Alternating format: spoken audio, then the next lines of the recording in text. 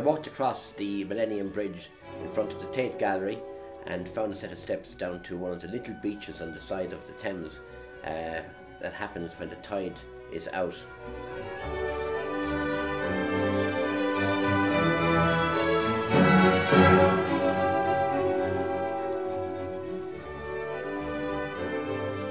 I walked along it and found um, an old anchor which sort of encapsulates the past history of the Thames big boats.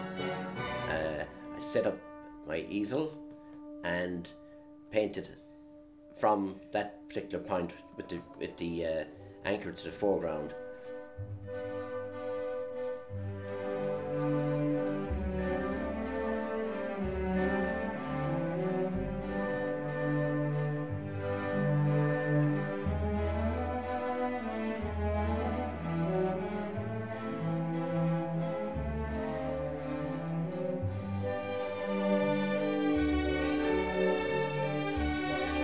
View of the City of London from St Paul's to the Gherkin and interspread with a number of towers of the churches which Sir Christopher Wren designed after the Great Fire of London in 1666.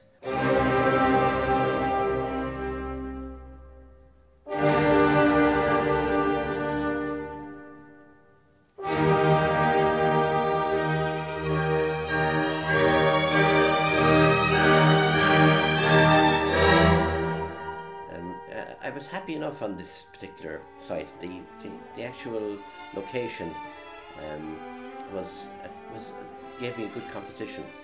I squashed it a little bit in the sense that I used a little bit of artistic license to actually get the composition together. So some of the buildings are a little bit out of their normal um, size, so they're squashed to to get the Gherkin and St Paul's in.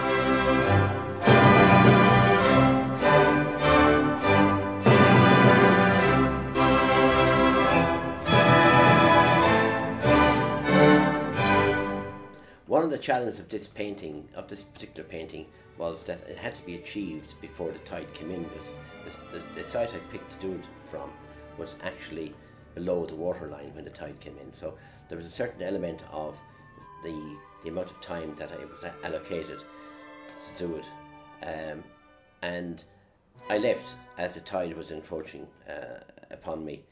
Um, it's a sort of an exhilarating uh, feeling when you actually have to go and achieve and finish something or, or else get drowned in the process. So this painting was one of those uh, um, occasions.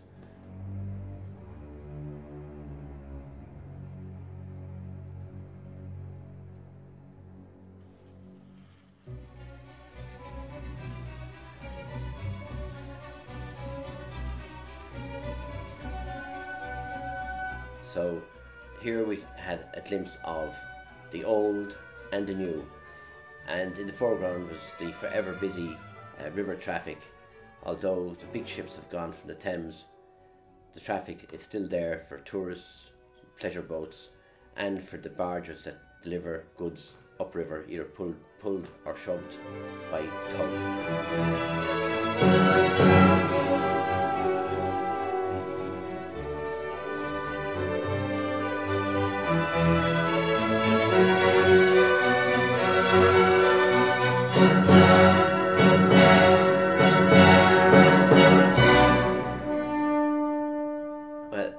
Bridge, uh, uh, when it was built first, it was called the Drunken Bridge because it actually swayed a lot in, as people walked across it. So as they, they went over and back across the bridge, it swayed. So they actually had to put a whole set of stabilizer and uh, stabilizers on it to, to, to, to make it safe for people. The painting was done in the middle of the afternoon. There was a certain amount of light in the earlier part, but it started decreasing as the evening came on, with the odd spot of rain coming. It was a moody but yet colourful painting of the buildings across on the quaysides, which were actually uh, sort of just visible uh, as the tide came came back in.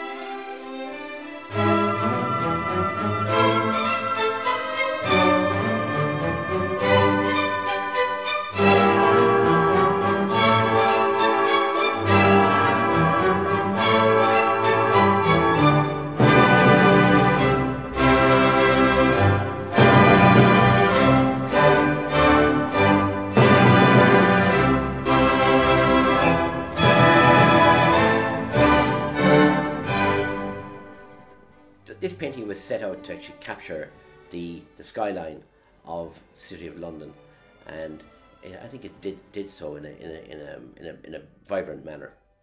When I completed the painting, I, I removed myself in bits and pieces. So I took the painting off the easel first and walked down along the uh, riverbank and took it out to safety because um, you know sand and oil paint are, are not a good combination. So it's important to actually get painting out of location that's going to endanger it. Um, then I came back and retrieved the rest of my bits and pieces, easels and, and paints and brushes. So um, it was a bit of excitement along the riverbank.